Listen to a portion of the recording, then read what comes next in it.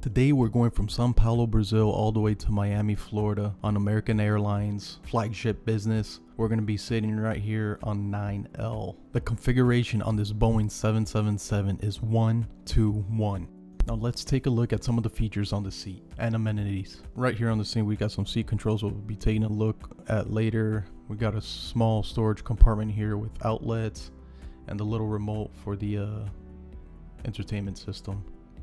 Pretty decent size, if I'm gonna be honest. And then got the headphones here and some more amenities here, which we'll check out later. And there's another storage compartment back here, which is pretty small. I didn't end up using it at all. And then taking a look at the menu here, we got some beef short rib, rosemary chicken, and as you can see here, there's a pretty decent selection of beverages as well. The IFE is pretty good with a good selection of movies and everything. And this little remote control I had a difficult time with. I ended up calling the uh, flight attendant over a couple times because I didn't know how to mess with it. But that's on me.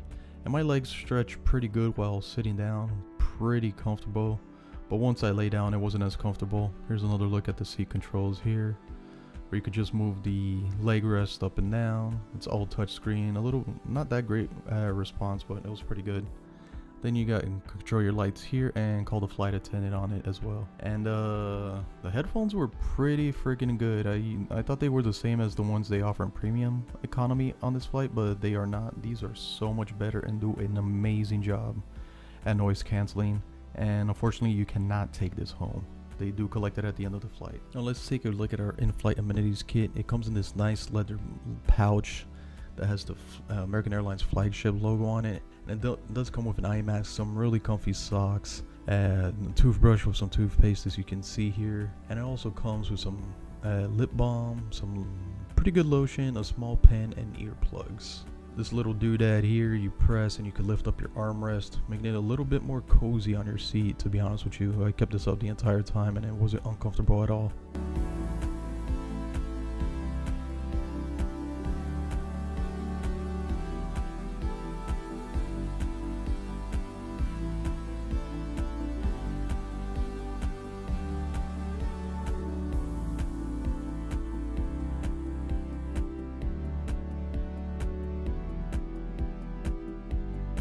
The ambient light was pretty nice but they kept it like this during food service and it was a bit annoying because i couldn't really see my food even with my seat light on but it was it was okay. I would have preferred it a little bit brighter in there but so apparently i accidentally had ordered a special meal so i was not able to get the uh, short rib or the ravioli so i ended up with this chicken broccoli and like I don't know what it was exactly, but there was chicken, there was broccoli, and there was some fried vegetables, and a really soggy spinach that wasn't that great. It also came with a small salad and a little appetizer that had some cheese and like cold cut turkey in it and stuff with some tomatoes, which wasn't actually that bad.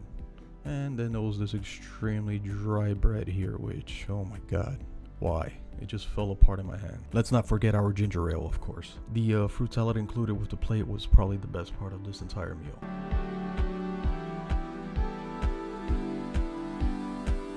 The dessert was spectacular, a really good portion of vanilla ice cream with some salted caramel syrup on top, which, man, after that very mediocre and depressing meal, this dessert was well worth the wait. The lavatory was a huge disappointment as you can see here. Um six foot three and it's pretty it's a normal sized lavatory to be honest with you. Nothing really special about it and nothing really interesting in here for business class passengers.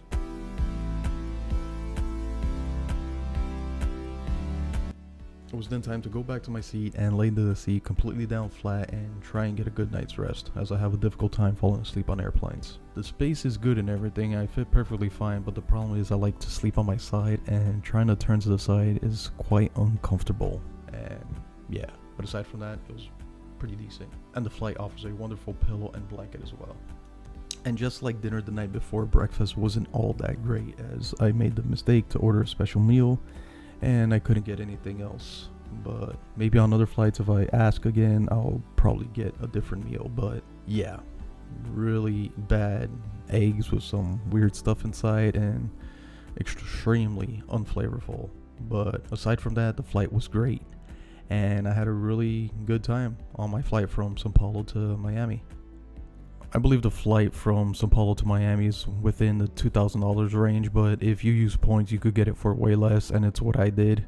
And if you guys would like to know how I get these flights for free or extremely cheap, just let me know down in the comments below, and I'll create a video explaining all that as well. Thanks for watching.